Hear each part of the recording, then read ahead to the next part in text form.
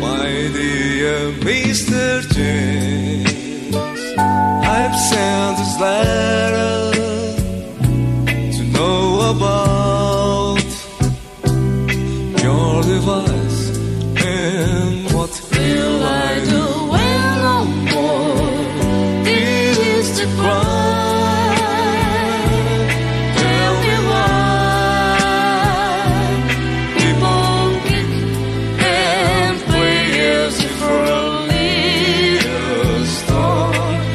Let's forget we